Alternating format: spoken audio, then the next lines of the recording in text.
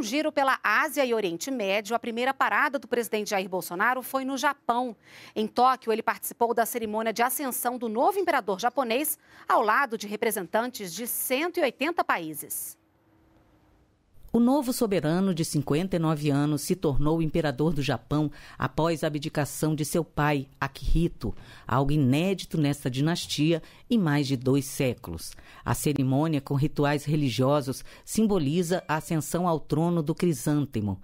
Entre os convidados estrangeiros, vários chefes de Estado, como Jair Bolsonaro, e representantes das famílias reais, como o rei Felipe da Espanha e o príncipe Charles da Inglaterra. O próprio Naruhito se autoproclamou imperador na presença de dois mil convidados no Palácio Imperial de Tóquio. No fim do dia, o presidente Bolsonaro e outras autoridades participaram de um jantar oferecido pelo novo imperador. Pelas redes sociais, o presidente disse que é motivo de satisfação e de orgulho ser um dos convidados, pelo respeito e consideração que tem pelo povo japonês.